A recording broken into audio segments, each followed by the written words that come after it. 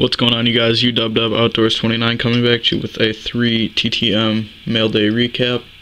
Two coming from spring training and one coming from a Hall of Famer. So let's get started. Coming back in just a little over a month from Florida spring training, Mr. Ricky Nolasco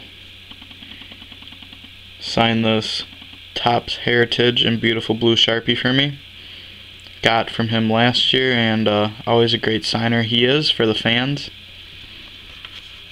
Second one coming from spring training in Arizona, Brewers longman slash relief pitcher, Mr. Michael Blazek. Kind of signed in a weird spot there on the bottom, but uh, I've seen him do that a lot on cards, baseballs. Just kind of signing goofy spots, kind of a different guy. But uh, always another great signer, first time getting him.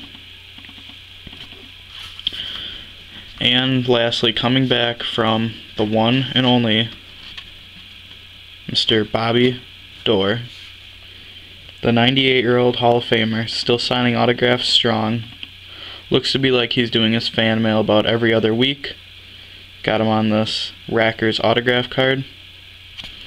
And I also got him on another autograph card. Yes, I know, he did sign it upside down, but, you know, like I said, the guy's 98, still does his own fan mail, and uh, still signing away. Alright, thanks for watching, guys. Please remember to like, subscribe, and I'll talk to you guys later.